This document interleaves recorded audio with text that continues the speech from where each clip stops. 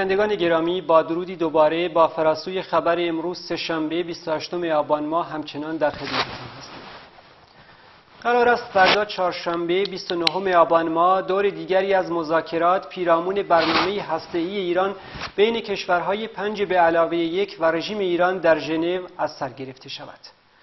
نتایج حاصل از مذاکرات دور اخیر و اقدامات عملی که در فاصله زمانی بین این مذاکرات از سوی طرفین انجام گرفته و همچنین آخرین آماده سازی ها برای سازش بزرگ و تحولات در زمینه برنامه هسته رژیم موضوع گفتگوی امشب برنامه فراسوی خبر است که به اتفاق رفی احمد خورشیدی به آن می‌پردازیم. با ما همراه باشید. رفیق احمد خوش اومدید. تشکر می‌کنم. در خدمت هستم. بفرمایید. خواهش می‌کنم. آخرین تحولات در ارتباط با آخرین دور مذاکرات کشورهای پنج به علاوه یک و رژیم ایران چیه؟ و چه زمینه هایی در این مدت فراهم شده است. بله. همچنان که در اوایل بهش اشاره کردی فردا دور بعدی مذاکرات شروع میشه در ژنو فکر کنم. در این مدت کوتاهی که فاصله بین فردا و یکی دو هفته گذشته که مذاکرات قطع شد اتفاقاتی افتاده که من مختصرا بهش اشاره می‌کنم و بعد میرم سر علت این که چرا این مذاکرات به توافق نرسید. تحولاتی که در این مدت صورت گرفته به نظر من در دو سه محور میشه خلاصه کرد یا دو سه مصاحبه تلفنی و کنفرانس مطبوعاتی و سفر اولان به مثل اسرائیل و بعد منطقه خود مختار فلسطینه در, در یک مکالمه تلفنی که بین پوتین رئیس جمهور روسیه و روحانی صورت گرفت اساس صحبتشون این بود که زمینه واقعی برای ادامه مذاکره و توافقات فراهم شده. این خلاصه بحثی بود که بین پوتین و روحانی در گرفت. بعد وزیر امور خارجه آمریکا جان کری در یک کنفرانس مطبوعاتی با احمد داودوغلو وزیر امور خارجه ترکیه در مورد این مسئله صحبت کردن بحث کردن بحث اساس بحث تا اونجایی که مربوط به این مسئله هستی و این مذاکرات بود. جان کرین و این مسئله رو عنوان کرد که ما حق ایران رو برای انرژی اتمی صلحآمیزش به احترام قائل میشیم به رسمیت می‌شناسیم این حق و همچنین اینم اضافه کرد که ما حرکت ما در جهت مخالف اسرائیل نیست و این امنیت اسرائیل رو تضمین می‌کنه. داود هم روی همین موضوع تکرار کرد. به اضافه اینکه گفت ما دوست نداریم. هیچ سلاح هسته‌ای در منطقه خاورمیانه و در جهان هم باشه و روی خاورمیانه هم تاکید کرد. منظورش اسرائیل بود که به نظر من ولی اسمی از کشور خاصی نبود. این دو, دو, دو, دو مورد. مورد سومی هم که زیاد جنجال بود در صدر رسانه های گروهی به درجه زیادی.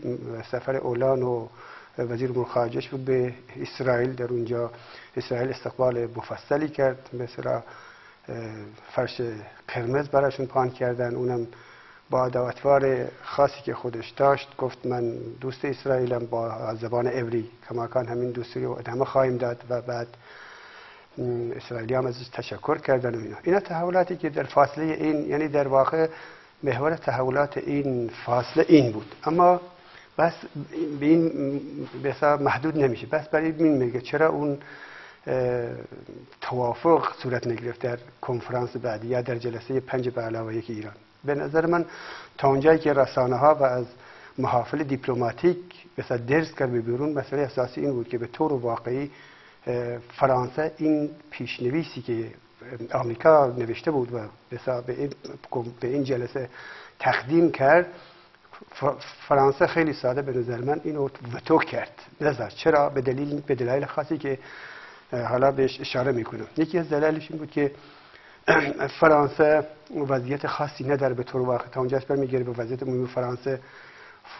اولاند در بدترین وضعیت قرار داره. حتی در دوره پنجم جمهوری در فرانسه است که بعد از جنگ دوم جهانی شروع میشه 1950 53 اینا.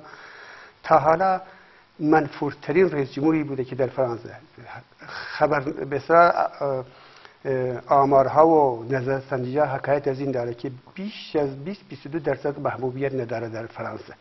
و حتی موقعی هم که در به مالی هم حمله کردن همین حدودا بیشتر از مردم فرانسه بهش هم رای ندن. معلوم نیست این 20 درصد از کجا آمده. و یک جریان جنگ طلبیه یک دولت جنگ طلبیه. خیلی سعی کرد که امریکا رو به دنبال خودش بکشه که به سوریه حمله بکنه. بالاخره موافقتی در این زمینه کسب نکرد.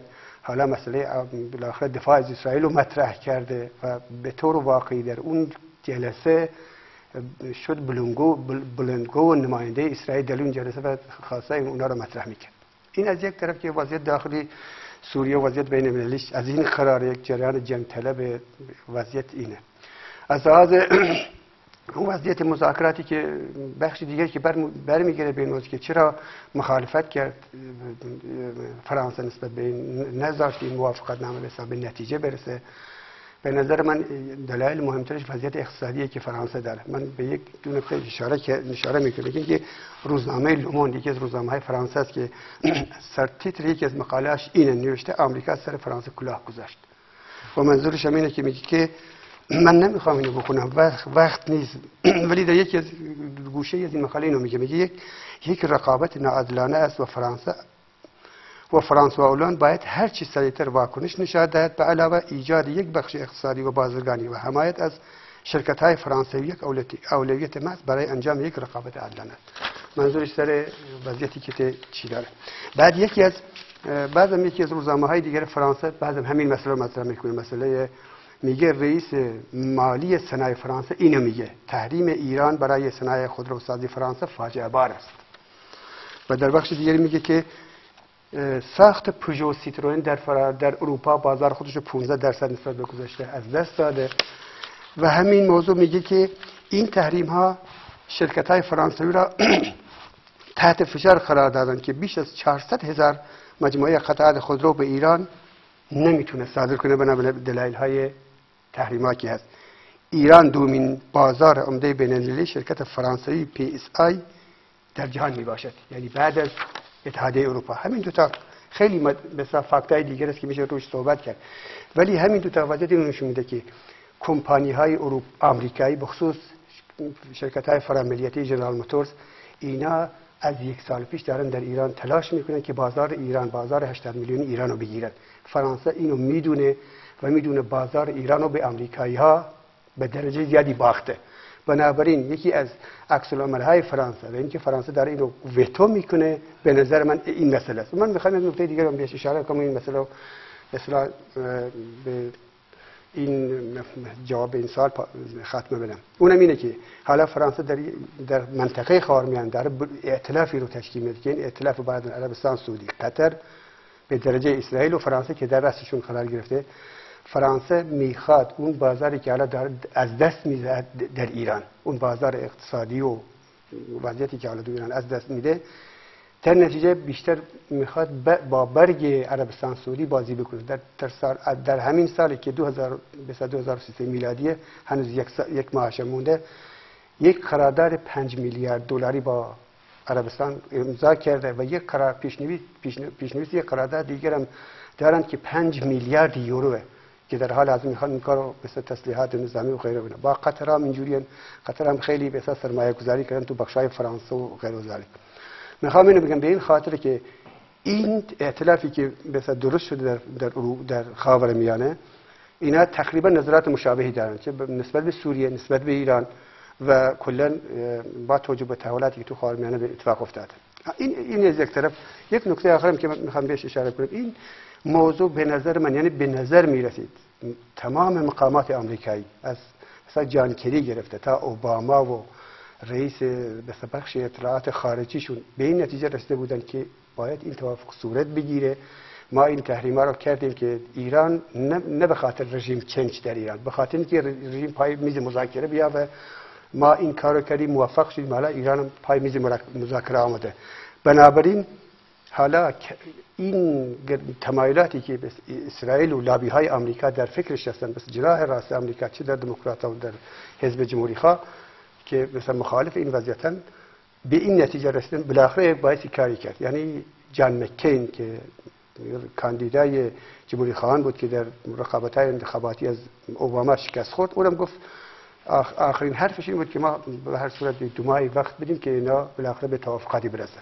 ایران هیچی نگفت شریعت مداری که سردبیر روزنامه کیهان و خط اونا خط ولایت فقیر رو نمایندگی می‌کنه ساکت بود در این, در این مدت.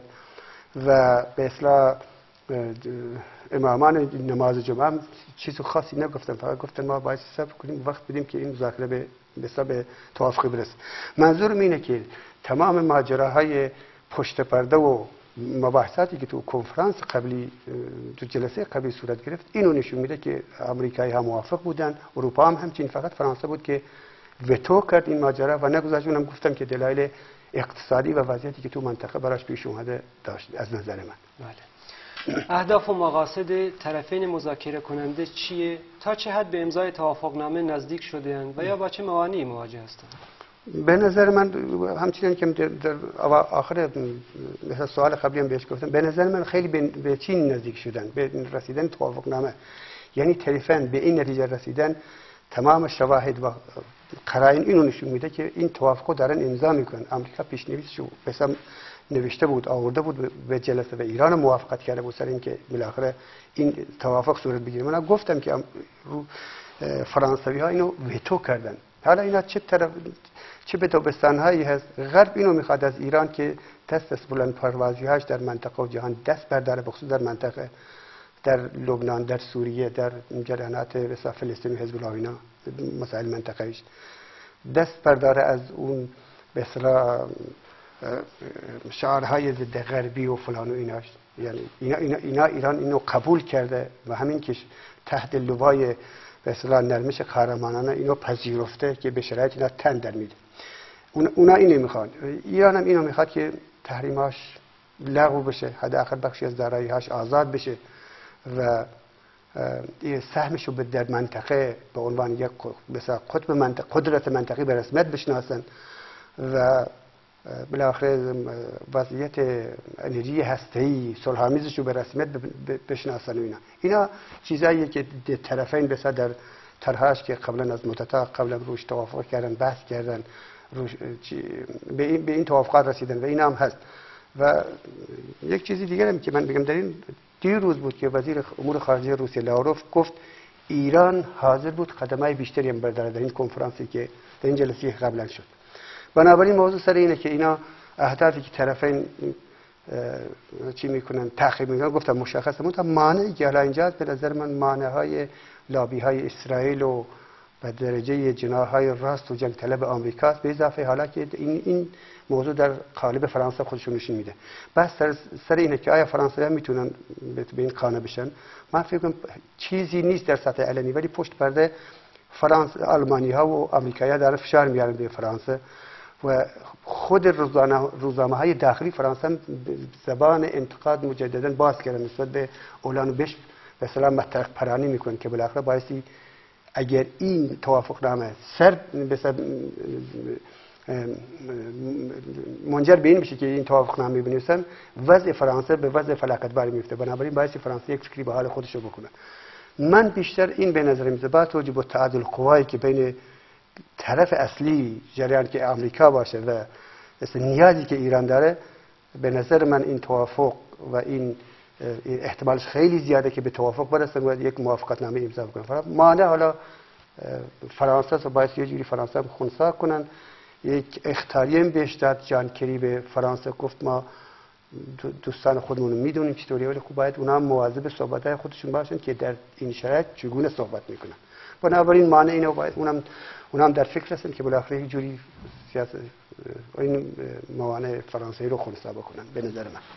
در پایان به ما بگید در صورت سازش طرفین و انعقاد قراردادی در این زمینه آیا این توافقها گشایشی واقعی در زندگی و معیشت مردم ایران و به ویژه طبقه کارگر و مردم زحمتکش به وجود خواهد آورد؟ به نظر من حالا هنوز به توافق نرسیدن ولی خب در سیاست خارجی ایران گام های به جلو برداشت ایران. و همین که اون جار و جنجال های تبلیغاتی و اون تنشایی که بین ایران و غرب بخصوص آمریکا بود تا فروکش کرده. در ظاهر بیشتر بحث ها و صحبت ها و مکالمات و مصاحبه بیشتر سخن از توافق و تفاهم و اینا هست در جریان. این واقعیت یک سری قدم های برداشته شده ایران. این کارا رو کرده رو به رو به بیرون و رو به خارج و رو به مثلا اروپا و اینا. منتها آنچه که رو به داخله نه اینکه هیچ تحولی در این مدت صورت نگرفته بلکه فضا بیشتر مسدود شده. اعدام های اخیر اینو به ما نشون میده. وضعیتی که بیکاری گسترده و تورمایی که مجددا هی بالا میره چند روز پیش که دو سه روز پیش روزنامه از پنجا ممایز نیم صحبت می‌کردن از تورما. و بنابراین گشایشی تا حال یعنی در این مدت صد روزه بیشتر از صد روزه که بیلان حکومت روحانی رو مطرح کردن چیز خاصی به مثل صفحه مردم یا صفحه کارگر و زحمت اضافه نشده. دست نظام سابق تورم هست گرانی هست انصداد هست و حتی به نظر من این اعدامایی که در ایران صورت گرفت یکی از یکی از اهدافش که هیچ اینو می‌خواست این زرچشم از مردم بگیره که این بود که به جهانیان و غرب و امریکا نشون بده که کماکان ما قدرتی می‌تونیم این اوضاع کنترل کنیم. اما آیا ممکنه گشایشی به وجود بیاد بعد از اینا. این دولت اینو تبلیغ می‌کنه که بعد از برداشتن این تحریم و فلان ممکنه گشایشی بوش بیاد. من اینو منکر نمیشم ولی فعلا اینو نشون نمیده قرائن و که گشایشی بیاد اگر قرار گشایشی به وجود بیاد به نظر من بستگی داره به سطح مبارزات مردم به تلاش های مردم به اعتراضات مردم در اشکال مختلف انتظاراتی که اگر مردم دارن از این وضعیت که خلاص بشن چه لحاظ سیاسی گشایش سیاسی فضای باز سیاسی تو جامعه فضای لحاظ اجتماعی و اقتصادی تحولی به وجود بیاد هیچ راهی نیست بغیر اینکه این زوری که حالا تو در پتانسیل زوری که در جامعه نهفته است این به صورت اعتراضات تشکیلات و تنظیمات به وجود بیاد و رژیم وادار کنه به عقب نشینی در غیر این صورت از این بارزایت خودش به نظر من کار خاصی انجام نمیده. متشکرم از توضیحاتتون رفیق احمدی خورشید. خواهش می‌کنم. و با سپاس از شما بینندگان عزیز از همراهیتون با این برنامه به سخن روز تلویزیون کمل توجه فرمایید.